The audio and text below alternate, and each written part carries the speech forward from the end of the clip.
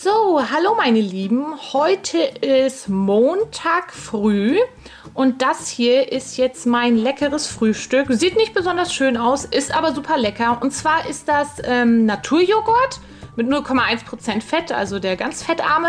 Dann habe ich dann noch ähm, von Alnatura den Apfel-Bananenmus reingetan, ein paar Löffel. Ein Löffel Stevia ist drin zum Süßen. Dann sind da noch Erdbeeren drin und Bananen. Und das war's. Das lasse ich mir jetzt schmecken. Ich habe jetzt gerade mal Lust auf was Süßes, einen kleinen Snack zwischendurch. Und zwar esse ich hier so ein Corny Free Riegel mit Geschmack Richtung Schoko. Gibt es auch mit weißer Schokolade und Nuss-Nougat, soweit ich äh, weiß. Und dieser Riegel hat gerade mal 67 Kalorien. Also wirklich nicht viel für etwas Süßes. Und ähm, deswegen lasse ich mir den jetzt schmecken. So, das ist jetzt schon ganz schön spät abends. Ich habe nämlich das Mittagessen ausgelassen, weil es mir nicht ganz so gut ging und ich mich stattdessen ein bisschen hingelegt habe. Deswegen ist das jetzt hier mein Abendessen. Und zwar ist es äh, Salat, ähm, wie heißt der Salat nochmal? Dieser Lollo Rosso. Dann ist da noch Karottenstreifen ähm, drin und Mais und ein Joghurt-Kräuterdressing äh, mit so wenig Kalorien, das Dressing. Und ja, das war's. So, es ist jetzt Dienstag früh und eigentlich esse ich genau das gleiche wie gestern. Der einzige Unterschied ist, dass ich noch äh, so etwas hier reingemacht habe. Und zwar habe ich von, als ich das letzte Mal bei Douglas äh, bestellt habe, also online, gab es äh, so ein Müsli to go gratis dazu, so eine äh, Probiergröße. Und ich hatte die Geschmacksrichtung Himbeer, weiße Schokolade. Und da habe ich ein kleines bisschen noch mit reingemacht, der Rest, der hier noch drin war. Und ja, finde ich sehr, sehr gut. Also ich finde diese Müsli-to-go-Sache schmeckt richtig gut. Ähm, ich weiß nur leider nicht, wie teuer das ist. Aber es war auf jeden Fall lecker. Und äh, jetzt genieße ich den Rest davon. Das ist jetzt mein Mittagessen. Und zwar ist das ganz simpel ein bisschen Reis mit ein bisschen äh, verschiedenen Gemüse. Also Möhrchen, ähm, so grüne Bohnen und Brokkoli ist da drin und Mais und so weiter. Und ähm, ja, ein bisschen gewürzt ist das. Mehr ist da nicht drin, schmeckt aber super lecker. Und ähm, wenn ich mir das habe schmecken lassen, dann zeige ich euch gleich noch meinen Nachtisch. Und das ist jetzt mein leckeres Nachtisch. Mein leckeres Nachtisch? Ich meine natürlich mein leckerer Nachtisch. Und zwar ist das Mango-Sorbet-Eis. Super lecker, es ist keine Milch drin, also auch laktosefrei für die Leute, die vielleicht laktoseintolerant sind. Hat bei weitem nicht so viel Kalorien wie Milcheis und schmeckt einfach nur göttlich. Also man muss natürlich Mango mögen, aber ich liebe es. Nom nom nom nom nom. So, das wird jetzt mein Abendessen. Einfach nur so leckere Weintrauben. Ich liebe Weintrauben. Und dann äh, sozusagen als Nachtisch, wenn man das so sagen kann, noch so ein äh, Obstgarten. Und ja, das war's. Mehr wird heute nicht mehr gegessen. Aber das wird schon ganz schön satt machen, die ganzen Weintrauben. Da ich noch ein bisschen Hunger hatte und ich auch noch ein bisschen Salat übrig hatte von gestern, esse ich jetzt den Rest von meinem Salat wieder mit diesem Joghurtdressing. Und ja, das wird aber definitiv heute meine letzte Mahlzeit sein. So, guten Morgen, meine Lieben. Das ist jetzt mein Frühstück am Mittwoch. Es ist ziemlich unspektakulär, denn ich habe heute nicht so viel Zeit. Meine Mama holt mich bald ab und deswegen muss ich schnell was essen. Außerdem habe ich noch Weintrauben von gestern übrig gehabt. Dazu esse ich so ein Jogoli, Jogoli, Jogolé Erdbeerjoghurt und ein Corny als Nachtisch. Und das ist jetzt mein Frühstück. So, liebe Leute, das ist jetzt mein Abendessen. Ähm, wie ihr seht, habe ich mein Mittagessen heute nicht gefilmt. Und das hat auch einen Grund, denn ich war bei meinen Eltern und habe dort gegessen. Und natürlich habe ich die Kamera nicht mit. Und naja, was soll man dazu sagen? Und äh, da habe ich aber Hähnchen gegessen, also so Grillhähnchen Ne? Ich habe nur die Haut nicht gegessen, weil die immer sehr viel Kalorien hat, also nur das magere Fleisch, also alles gut. Und äh, das ist jetzt mein Abendbrot.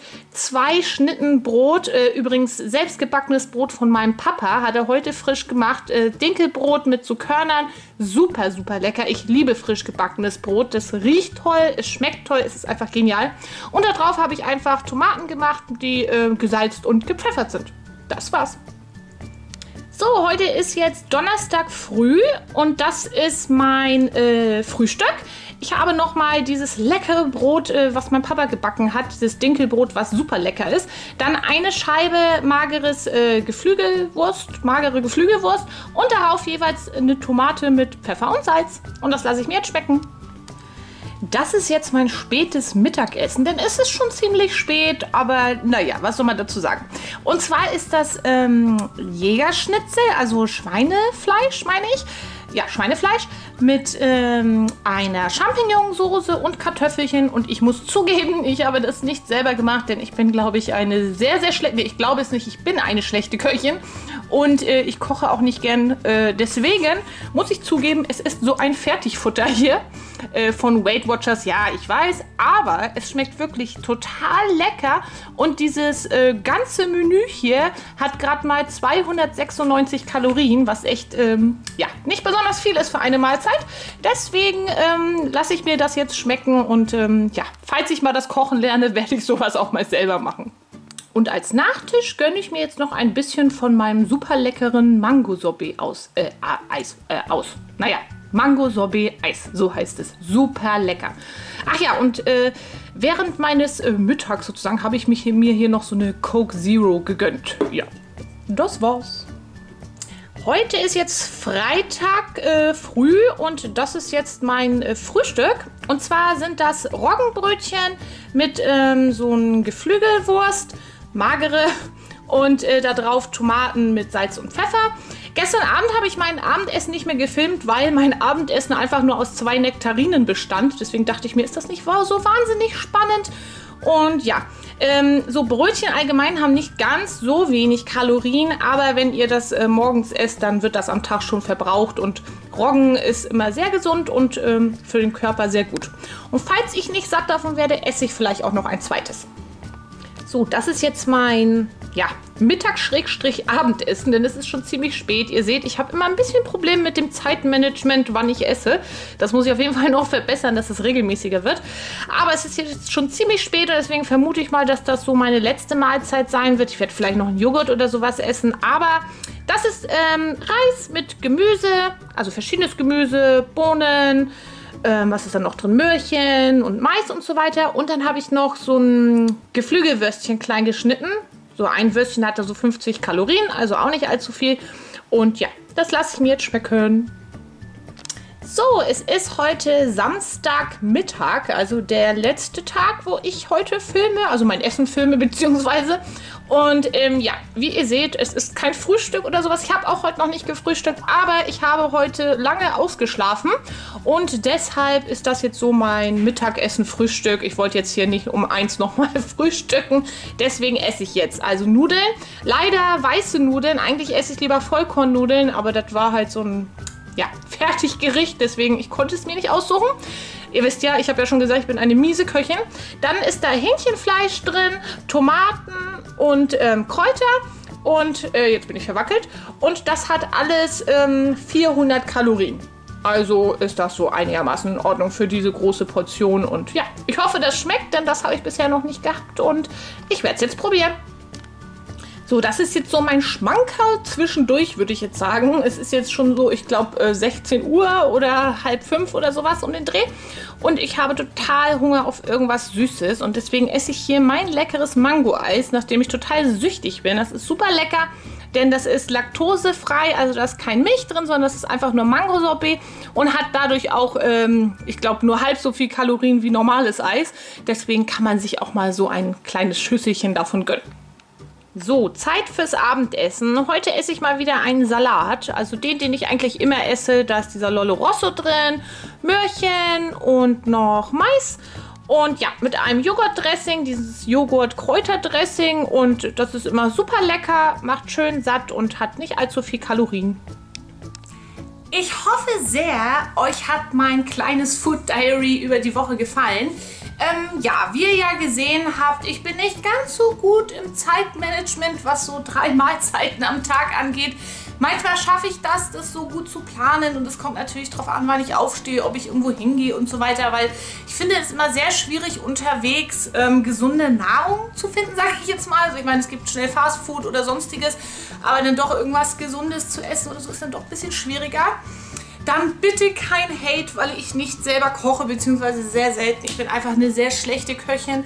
Zudem bin ich auch ehrlich gesagt zu faul dazu. Man braucht unheimlich, also ich, beziehungsweise es dauert sehr lange, bis ein Essen gekocht ist und in 10 Minuten ist alles weggegessen und dann denke ich mir mal, und dafür war ich jetzt irgendwie zwei Stunden in der Küche gestanden. Deswegen ist es nicht so mein Ding, aber ähm, ich bin zufrieden, so wie es ist. Ich achte mal darauf, wenn ich so Fertigprodukte kaufe, dass die eben äh, ohne Geschmacksverstärker und all so ein Zeug sind. Und ja, also die Sachen, die ich kaufe, schmecken auch gut. Finde ich zumindest. Dann natürlich noch das Gewichtsupdate. Ähm, diese Woche habe ich ein halbes Kilo abgenommen, womit ich sehr zufrieden bin. Also das heißt, ich wiege jetzt 81,6. Letzte Woche waren es ja noch 82,1 und da bin ich sehr zufrieden mit, muss ich sagen, denn ein halbes Kilo die Woche, wenn das so bleibt, finde ich super. Das heißt, ich habe jetzt genau 9 Kilo abgenommen ähm, seit ich das meine Ernährung umgestellt habe. Und ich finde immer so ein halbes Kilo für dafür, dass ich meine Ernährung umgestellt habe und eben keine Diät mache, finde ich super.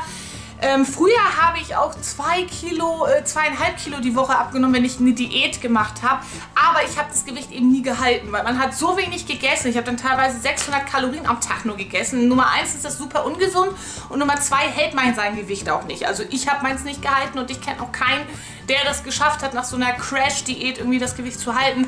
Deswegen finde ich, Gerade jetzt, wo ich schon auch, wie gesagt, 9 Kilo abgenommen habe, ist ein halbes Kilo die Woche wirklich in Ordnung. Und wenn das jetzt so jede Woche ein halbes Kilo ist, bin ich auf jeden Fall zufrieden. Und ja, was gibt es noch zu erzählen? Was ich eben ganz äh, gut finde an Ernährungsumstellung ist nicht nur, dass es natürlich danach leichter ist, das Gewicht zu halten, weil man das ja größtenteils so beibehält, wie man jetzt ist. Ich finde auch, dadurch fällt einem die, wie soll ich sagen, das Abnehmen nicht so schwer.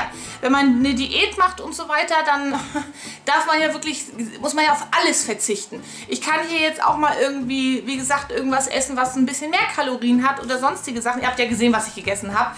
Ähm, ich habe übrigens alles äh, gefilmt. Vielleicht mal, wenn ich irgendwie einen Apfel gegessen habe, habe ich das nicht gefilmt. Aber ansonsten wirklich alles gefilmt. Und äh, jetzt habe ich den Faden verloren. Na supi. Jedenfalls, wenn man die Ernährung halt umstellt, dann kann man auch leckere Sachen essen und muss nicht immer nur, äh, was weiß ich, an irgendein Stück keine Ahnung, Reiswaffel knabbern oder nur Brokkoli essen oder was auch immer. Ihr wisst schon, was ich meine. Und deswegen fällt mir das ähm, deutlich leichter als äh, die Diäten damals, wo man sich wirklich alles verkneifen musste. Und wie gesagt, ich bin mit dem halben Kilo sehr zufrieden. Ähm, ich hoffe, dass das jetzt so weitergeht jede Woche. Wenn ihr noch irgendwelche äh, auch Vorschläge habt, was ich noch zu der Abnehmen-Ernährungsreihe äh, von mir so für Videos machen sollte, dann schreibt mir das in die Info... In, ich wollte schon sagen in die Infobox. Ich meine, schreibt mir das in die Kommentare. So. Vielleicht habt ihr ja noch eine Idee oder habt irgendwelche Fragen noch, äh, was ihr gerne wissen möchtet. Also ich habe noch ein paar Ideen, was ich mache.